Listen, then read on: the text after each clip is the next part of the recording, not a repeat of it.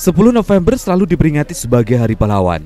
Pahlawan tidak hanya mereka yang dimakamkan di Taman Makam Pahlawan saja, namun ada juga pahlawan yang dimakamkan di pemakaman umum seperti makam Sulastio yang berada di Desa Sidoarjo, Kecamatan Wungu, Kabupaten Madiun.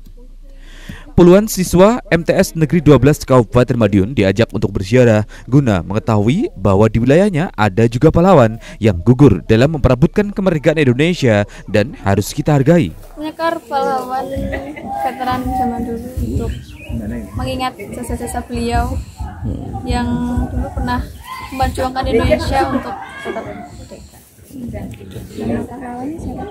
Bapak Sulastio. Menurut kamu pahlawan itu seperti apa sih, Dik?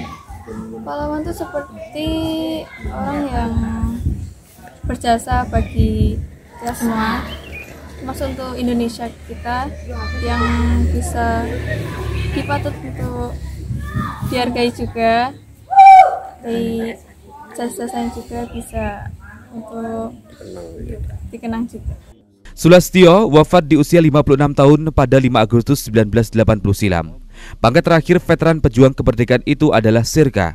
Sulastio menjadi kopral di Kodam 8 Brawijaya Surabaya dan pernah tugas pada 22 Januari 1964. Uh, pada kegiatan hari ini uh, terkait dengan kunjungan anak-anak ke makam pahlawan lokal yaitu terkait dengan pembelajaran kurikulum merdeka yaitu P5 uh, P52R yang terkait dengan uh, kepahlawanan, kepahlawanan dan menghargai jasa para pahlawan yang mana edukasi di situ anak-anak uh, bisa mengambil hikmahnya untuk bekerja keras pantang menyerah dalam membela kebenaran, membela bangsa dan membela tanah air. Pada peringatan Hari Pahlawan ini diharapkan kita semua tidak sekedar mengenang perjuangan para pahlawan, namun juga harus dimaknai dengan melanjutkan perjuangan sebagai anak bangsa yang dapat berprestasi dan berkontribusi dalam pembangunan daerah.